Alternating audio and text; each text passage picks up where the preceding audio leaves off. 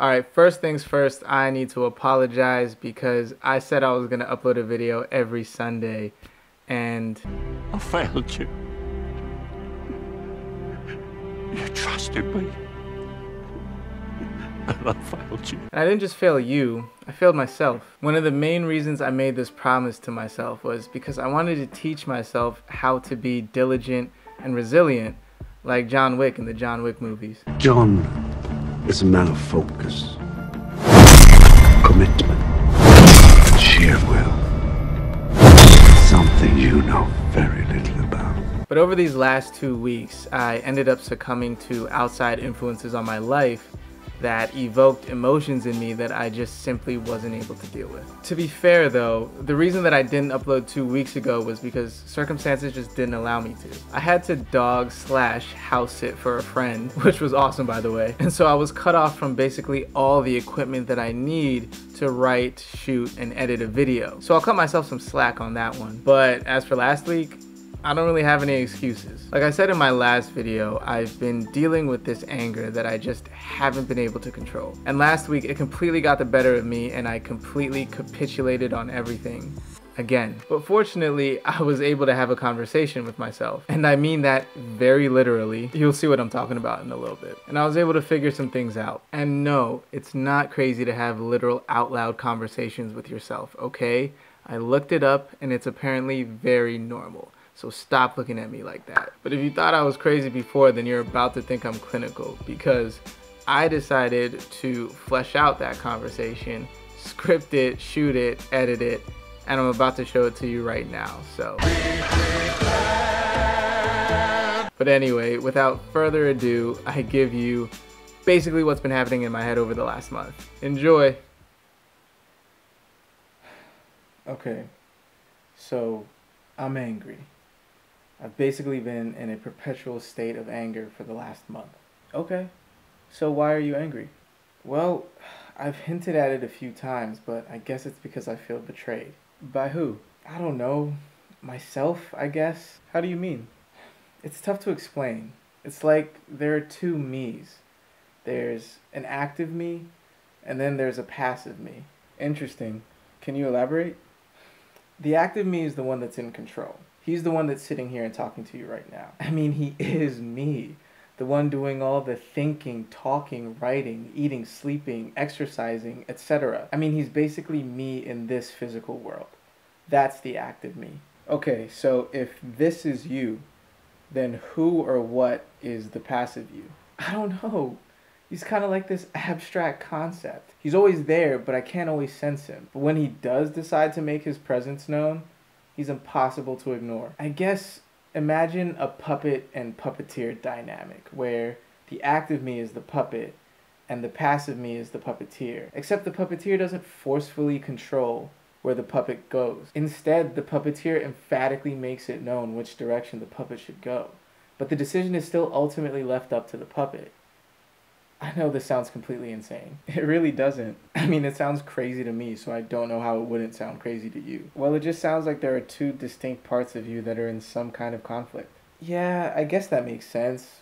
But if the active me is me, then how do I identify the passive me? What do I call it? Hmm. The other you. Maybe your intuition? Yo, yes, thank you. I like that. Somehow that just makes sense. It feels appropriate. Yeah, my intuition. Good, I'm glad it makes sense. So that means that the two parts of you that are in conflict are your physical self and your intuition, correct? Yeah, I think so. And so who betrayed who? My intuition betrayed me. And how did he do that? Well, basically in the past, I feel like my intuition would lead me into difficult situations. But if I managed to get through them, I would have something to show for it. I'd get a step closer to my goals. But recently, I feel like my intuition has been leading me into difficult situations where even if I manage to make it through, I don't have anything to show for it. And sometimes I even feel like I'm farther away from my goals. I recently just made a video about it because I honestly don't know what else to do about the situation. Yes, I remember. About the fasting, right? Exactly. That's actually a perfect example because in that scenario, my intuition made me fast for three days before a vacation even though the physical me, the thinking me, tried to convince him not to make me do it. But like I said, when he makes his presence known, he's impossible to ignore. So I did the fast and took a step forward, but by the end of the vacation, I'd taken 10 steps back, which is exactly what I, the physical me, said was going to happen. So why not just ignore your intuition? Because it's the same intuition that made me do my first fast, the one that helped me get over my acid reflux. Basically, the exact same thing happened. I was planning a fast, and one day I woke up and my intuition was like, you know what? We should do this now. And I was like, absolutely not. I'm not ready. But like I said, impossible to ignore. So I acquiesced.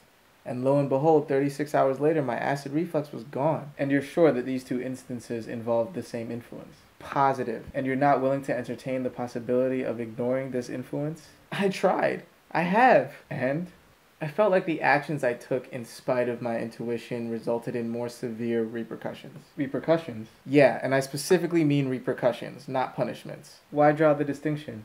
Because of the connotation. Punishments are inherently negative. Repercussions aren't. I never felt punished for going against my intuition. Even though I didn't listen to it, I was still heading in the same direction. It's just that the path that I took by not listening to it was slightly more treacherous. So, despite it being difficult, you still believe that it was ultimately in your best interest to listen to your intuition. That's what I used to believe and what I still want to believe. But I'm finding it hard to maintain that belief after this last month. It makes sense. But what you're saying is that you still want to believe that this influence is ultimately helping you, correct?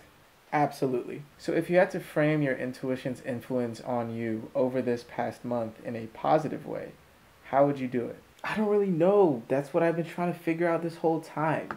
The only thing that I can come up with is that maybe it's testing me. Hmm. How is it testing you? I mean, it keeps putting me in situations where I have no choice but to make a decision that will directly sabotage my routine. And my routine is essential to me for maintaining equilibrium. When I'm able to maintain balance in my routine, I feel capable of doing whatever is required of me. And when I don't, everything falls apart. And this past week, everything fell apart, which is why I didn't upload a video on Sunday. So you think it's directly attacking your routine as a test? Essentially, but I don't think that's its job. Doesn't life already test me enough? Doesn't life already throw me for a loop every opportunity it gets? So shouldn't my intuition only serve to help me solidify this routine that it helped me to establish in the first place? Isn't that exactly what it's doing? I mean, yeah, I guess. But it's doing it in this like, I'm gonna throw you in the deep end of the pool and hope you don't drown kind of way. As opposed to, man, I don't know, maybe like a take me to the shallow end of the pool and teach me the basics first kind of way. You said your intuition helped you to establish this routine in the first place, no? Yeah. So would it be fair to say that that was your intuition's way of teaching you the basics? uh, fair point. So has life tested you in the same way that your intuition tested you last month? Yes, these last three weeks I've been in situation after situation where I've had to make decisions that have made it extremely difficult to maintain my routine. Do you regret being in those situations? Not at all there was a lot of babysitting, dog sitting, and just general interaction with people that I care about. They were situations that I hope to find myself in more, actually. Okay. And up until this past week, you actually did manage to maintain some semblance of your routine, correct? Despite all of these new situations. I mean, yeah, mostly, but it just it wasn't as effortless as it used to be. That's understandable. But do you think that you would have been able to maintain your routine through these new situations if you didn't first experience that large setback in June and learn how to bounce back from that? I mean, it's impossible to say, really. I might have been able to.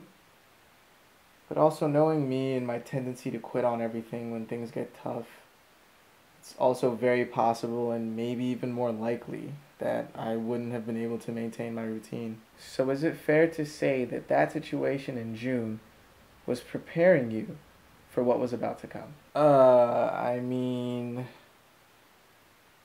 as much as I don't want to admit it, yeah, I guess that's fair to say. Probably more than fair, actually. If I'm being honest, it's probably more accurate to say that that's what happened. Okay, well, I feel that I must emphasize that you don't have to perceive it this way. But if we take everything that you've said up until this point, it would seem that this is the most appropriate way to perceive the situation. This perception maintains the puppet and puppeteer dynamic. This perception allows you to maintain your belief that your intuition is ultimately here to help you. And finally, this perception is consistent with how your intuition has operated in the past, leading you into difficult situations where if you manage to make it through, you will have something to show for it. So I must ask now, after an entire year of living in a haze of anger and apathy, do you now feel like you have something to show for that labor? Do you now feel like you've taken a step closer to your goal? yeah. Yeah, I think so. And what is that step you've taken? Solidify and maintain the routine. It is essential. It was never easy, but it was much simpler when there were no distractions. But now, distractions are setting in. Situations continue to arise where the maintenance of this routine will be jeopardized. And these are situations that I hope to find myself in more often. So it is paramount to now learn to adhere to this routine so that I can participate in the activities I desire with the people that I care about without damaging myself in the process. That sounds like a good plan. I just have one final question for you. What? Yeah, yeah, yeah, go ahead. You mentioned earlier that there were at least two distinct parts of you that were in conflict, correct? Yeah, yeah, I did. I did. So if you identify as the active, physical you, then who do you think I am? Wait, what?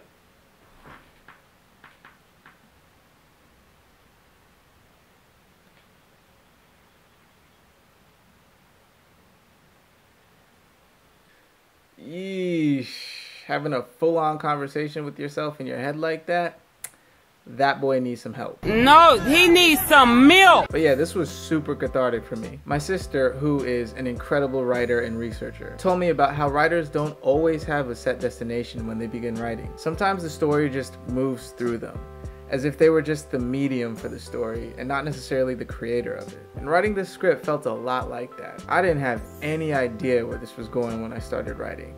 But by the time I was done, I had a script where both of the characters were basically trying to resolve all of my issues. And when I was done editing the conversation, it literally felt like I had a weight lifted off my shoulders. I felt lighter than I have in the last month. And that was a really, really cool experience to go through. I don't always express myself or deal with my emotions in the most productive ways. In fact, I rarely do. So being able to write, shoot, and edit videos that allow me to do just that has been absolutely essential in keeping me from slipping back into some harmful habits. So yeah, I hope I can continue to do this, and I'm definitely going to try to get back to posting every Sunday. But anyway, that's going to be it for this one. As always, thank you so much for hearing me out. I truly wish you the best going forward, and don't be afraid to talk to yourself every once in a while. You might be surprised by what you have to say. But anyway, take care of yourself, and I will see you in the next one. Peace, and be easy.